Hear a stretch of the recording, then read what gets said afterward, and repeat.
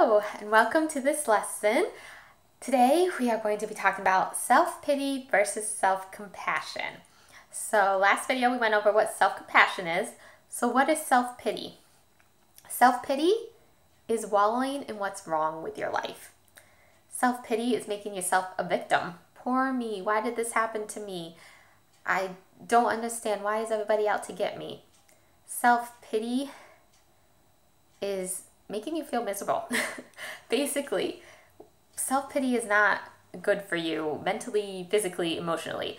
Self pity can can wreak havoc on your on all areas of yourself, even your physical health.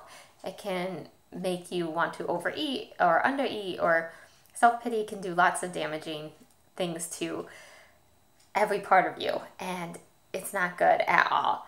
Now, we all have our moments of self pity even the strongest people do. But it's not letting ourselves stay in those moments. It's letting go. Because that's what self compassion is it's surrendering. Surrendering and accepting what is. Just knowing that, yes, this went horribly, but I have to accept it and I have to move on. That's what self compassion is. That's what truly um, loving yourself is just accepting what's happening to you and moving on and knowing that you're still the same person and that you still love yourself.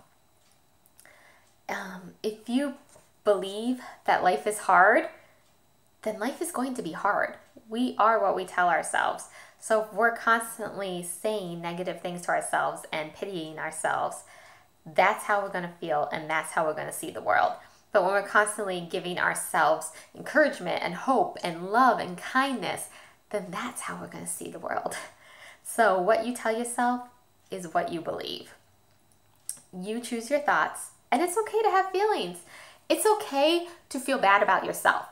I'm not saying you can't have those feelings. I'm not saying you can't be wallowing in self pity, but just don't stay there. Don't sink into those feelings and don't stay there. It's okay to feel sad, mad, angry about a situation, but let yourself feel that you are allowed to feel that. Let yourself feel that and then think of ways that you can overcome this. Think of ways that you can accept this and move on with your life. The thing about self pity is it wants to drag you down and it wants you to stay in that hole that you've created for yourself. But we need to surrender and know that we did our best and that we still love ourselves and who we are and try to move on from those feelings. Don't stay in that self pity hole. So, self compassion is focusing on the solution and not the problem. Self pity wants you to focus on the problem and stay there and feel bad about it. But self compassion thinks, what can we do to get over this? How can we solve this? It wants you to focus on the solution so you can move on. And that's what self compassion is. And we don't want to stay in self pity. We want to get out of that hole. And self compassion doesn't judge you. Self pity wants to judge you, wants to tell you that you're horrible or you did a horrible job. It wants to pass judgment on you. But self compassion lets you no judgment, lets you know that you did what you needed to do and let's move on. Let's fix this and move on.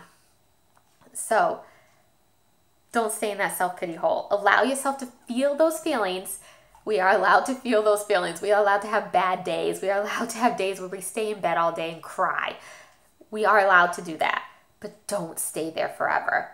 Give yourself that time to feel, give yourself that time to wallow, and then climb out of that self pity hole to compassion, to surrendering, to finding the solution.